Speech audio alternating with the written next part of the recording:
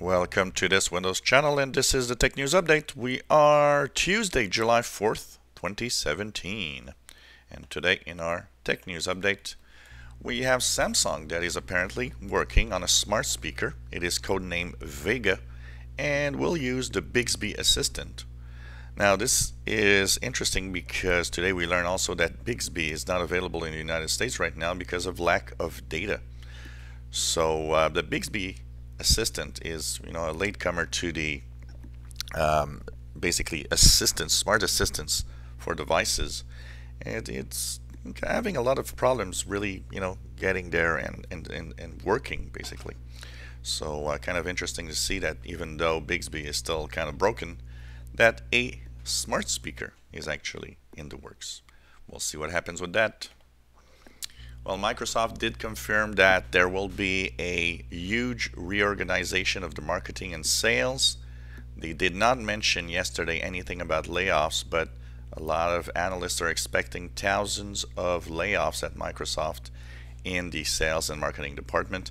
Uh, according to Mary Jo Foley, also, it's to better prepare the um, company for the future of you know small businesses as it wants to really compete very strongly against Amazon Web Services and also the Google Cloud Services. So this is a reorganization that will make Microsoft apparently more efficient. Well, in the UK, it seems that the National Health Service violated UK privacy laws when it actually gave details on 1.6 million patients to the DeepMind AI from Google of course, the uh, idea about behind this is the fact that um, Google will, of course, use artificial intelligence to kind of you know get more information on the health of the general population and maybe improve the treatments and um, learn more about how to basically heal people of different diseases. But the fact that all that information was given to Google apparently violates the UK privacy laws. So we'll see if there anything is going to happen with that.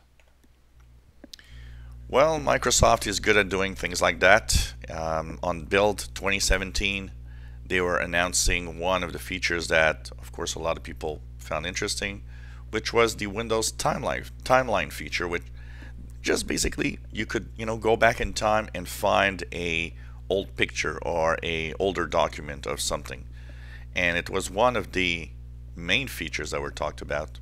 But problem is, it won't make the cut to the Fall Creators Update. Microsoft did say yesterday, nope, it's not going to be there, it's not going to be ready. It's going to be pushed to the March uh, update in 2018. So um, sad to see that they're pushing some of these features once again. According to ComScore, in the month of March, which is the last numbers we've got, in the United States, Bing actually was 33% of searches, and it's a huge increase, making Bing a pretty big player now in the searches in the United States. In the UK, also, it's been up to 26%. So, you know, when we talk about giants that dominate, sometimes you got to be careful. You never know what can come up. It's still, of course, far from the Google searches, but still, it's starting to get a really, really good share of the search market. Well, Winamp, if you've been using computers in Windows for a long time, of course you probably remember Winamp. And as it's celebrating a little more than 20 years now, it is interesting to look back at this piece of software which dominated the music, digital music, back in the late 90s and part of the early 2000s. And it seems that what made it really fall is when it was acquired by AOL in 2000 for about $100 million. Now, it still exists, but it doesn't seem that no one wants to use it anymore.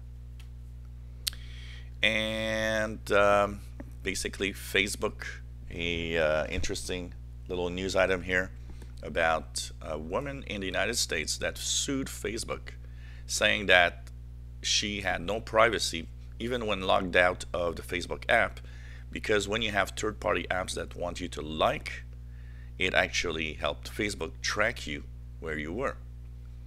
Well, the judge said, you know what, there's no problem there. Um, Facebook is not a problem in, in, in, a sense that if you use Facebook, you should kind of know that privacy is not necessarily there and that there's no real damage done to you because of that.